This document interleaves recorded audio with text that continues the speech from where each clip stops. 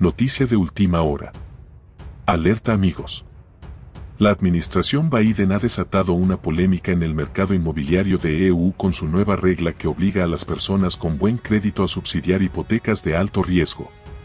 Los republicanos del Senado han acusado a la Agencia Federal de Financiamiento de la Vivienda, FHFA, de jugar con fuego al adoptar esta medida. Según el senador republicano Roger Marshall de Kansas, esta decisión política es una posible señal de que la legalidad de la medida podría ser desafiada.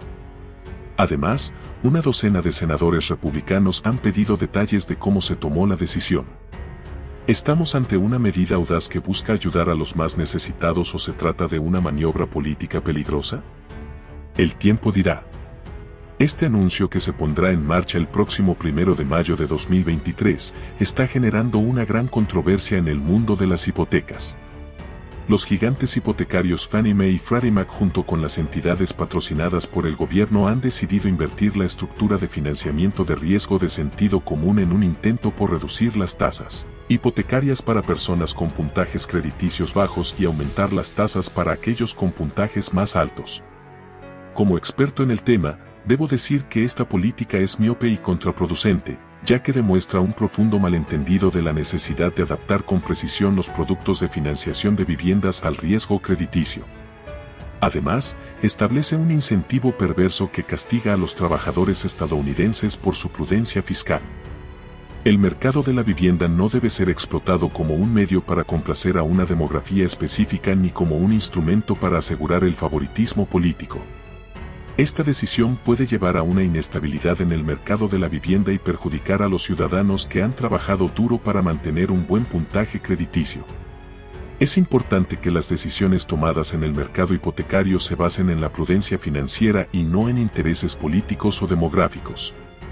Mantengamos la estabilidad y la justicia en el mercado de la vivienda para beneficio de todos los ciudadanos.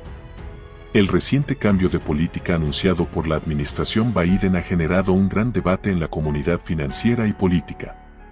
Según los expertos, las personas con buenos puntajes crediticios pueden verse afectadas negativamente, ya que se les cobrará un monto adicional en sus préstamos hipotecarios para subsidiar a aquellos considerados de mayor riesgo crediticio.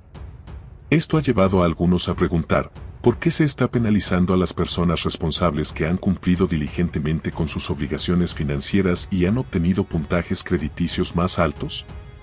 Mientras que algunos demócratas están criticando esta política, los republicanos del Senado han emitido una carta en la que expresan su preocupación por los planes de ingeniería social en el mercado inmobiliario de EU. El excomisionado de la Administración Federal de Vivienda del presidente Obama, David Stevens, también ha manifestado su oposición, sugiriendo que existen mejores formas de ayudar a las minorías a convertirse en propietarios de viviendas. Algunos expertos creen que la intención detrás de esta política es hacer que los prestatarios de alto riesgo se sientan más cómodos con viviendas que están fuera de su rango de precios, lo que podría generar más problemas financieros en el futuro.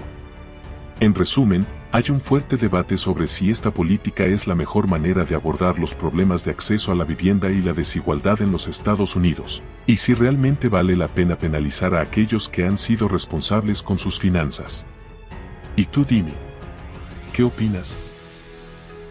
Se parte del cambio inscribiéndote a nuestro Telegram arroba news de hoy. Te esperamos.